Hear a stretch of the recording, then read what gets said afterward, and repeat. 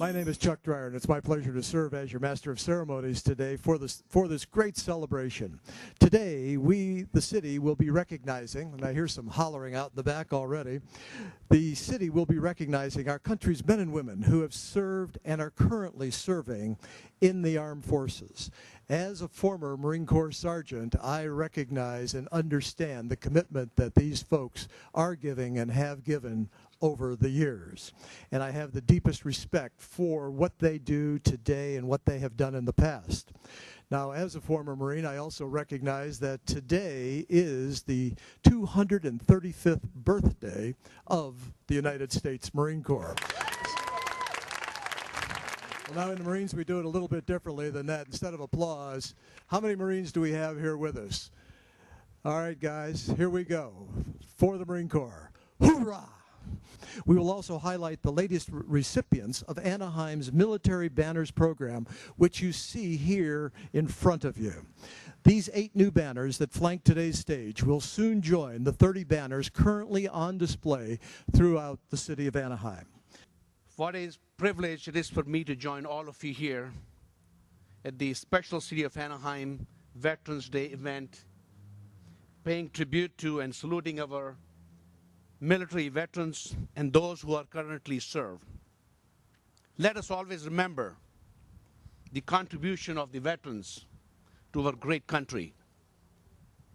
Let us never forget men and women who dedicated their lives to military service, and may our future generation never lose an appreciation for their service, their life stories, and the value of freedom which they have violently fought. I recognize patriotism not by serving in the service, but by seeing my brother go off to war in the Navy. He served in the, in the uh, Pacific uh, Theater, uh, my oldest brother. My second oldest brother was uh, plying the waters of the Pacific as well as a merchant marine. Both of them in high peril during those times. Um, My mother cried every day. Every day. They were gone.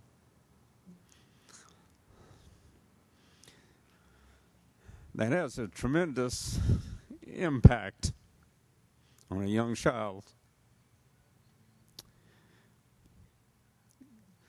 Um, my tears are not, and I am not moved for my own emotions and my own experiences but those of those who were left home the children, the mothers, the fathers, the uncles, brothers, sisters, nieces, nephews, all of the families that are crying every day, like my mother did.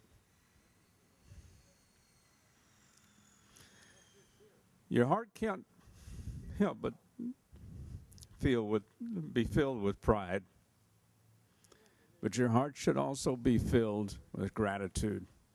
And when we do a formal recognition like this, it is not just because I want to acknowledge the sacrifices of the members of our armed forces are confronted with each day. It is because you who come here can also recognize the sacrifices that they make each day. And it is particularly significant in this time of crisis when we have perils across the country and uh, uh, around the world in Iraq and Afghanistan that people are willing to sign up and join the armed forces and go to these perilous places. But the people who are left behind, the families, the loved ones, the wives, the mothers, they truly are the ones who are making the sacrifices because their heart is breaking at all times. That's why we have this wonderful banner program so we can, in some way, honor those who are in the armed forces from Anaheim. So I want to thank each and every one of you for being here today. Thank you for the commitment of your young ones who have gone into the armed services. And for those who have made the ultimate sacrifice, you will always be in our hearts and our prayers. So God bless each and every one of you. God bless Anaheim, and God bless the USA. Thank you. But the reality is that our men and women are serving in 120 different countries around the world today as we speak. And the brunt of the sacrifice in these last 10 years have been for our military families. And of course, for our veterans who return.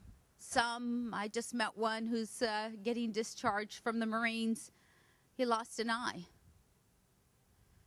And I wonder how will we reintegrate?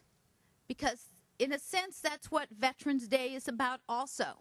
How we welcome back these people who have served our country and have served us. Some of them laying down their lives, and some of them coming back, in some ways, feeling that their lives are destroyed. And we have to ask ourselves, what are we going to do to help them?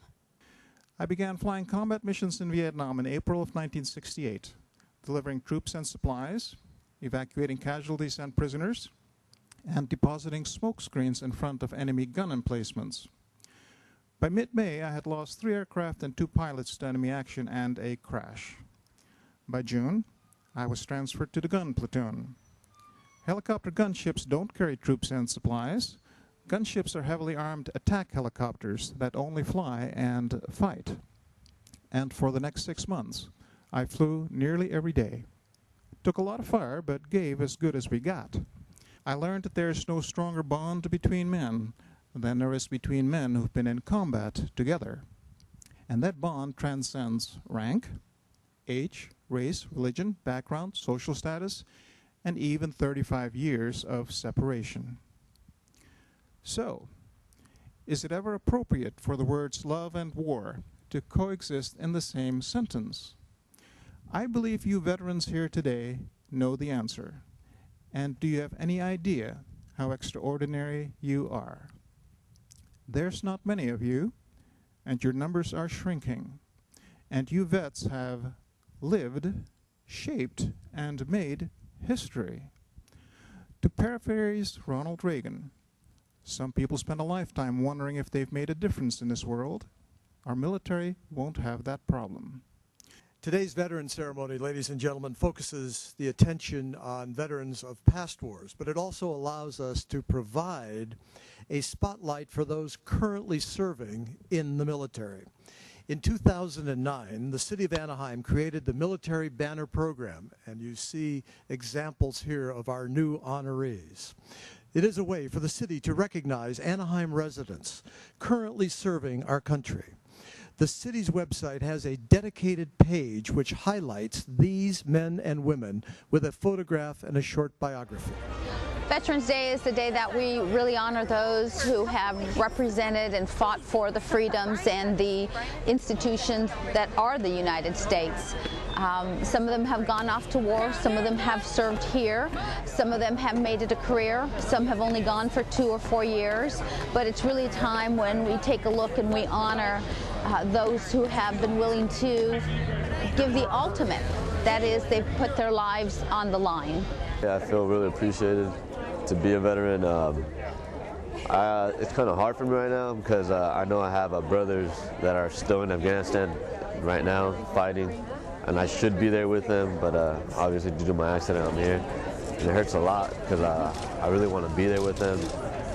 But uh, it's not really just to honor the ones that uh, are here today in, our, in the States, to really honor them, the ones that are overseas, but to honor everybody uh, that served in their country before. Well, the military banner program the city of Anaheim has started a year or so ago is wonderful because it recognizes the men and women in service who are deployed around the world, who are from Anaheim. So it gives an acknowledgement that we respect them, we honor them, and we know that their families are suffering. So this is a way to, to do a tribute to their families who can actually go by the street, see their son or daughter, and say, gee, somebody really cares about what my son or daughter has done and cares about me as a family member.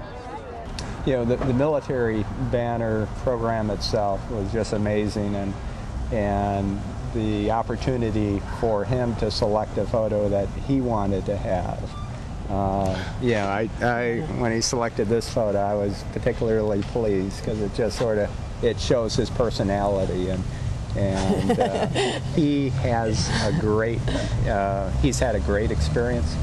Uh, he thrives when it's harder, uh, so give him a tough environment and and he he's uh, he's all in and and I think the structure that they provided and and the quality of people in the military uh, that he's interfaced with was incredible, you know, impressive. Veterans Day to me is a, a special day. I grew up as a military dependent, uh, lived on Air Force bases, born in Germany, lived in England, lived in Virginia. My dad spent a year in, in Thailand during the Vietnam War. Um, one of my greatest memories was seeing my dad receive a medal from the President of the United States for his efforts in Thailand, having been shot down as a door gunner in a helicopter. So Veterans Day is that day where we formally remember all they've done for us. And, and there's no better way than getting people together at an event like today and reminding them that we do appreciate what they've done and that, that it does mean something to us. It's important to say thank you for every to every vet, and we do that uh, on a Veterans Day. Uh, we say thank you as collectively, but we as, uh, as citizens of Anaheim have chosen the, the military banner program to say thank you to those folks who uh, who make the sacrifice, those who, who live in Anaheim, those who pass through Anaheim. They see the banner, they know that we are committed to saying thank you to our military folks.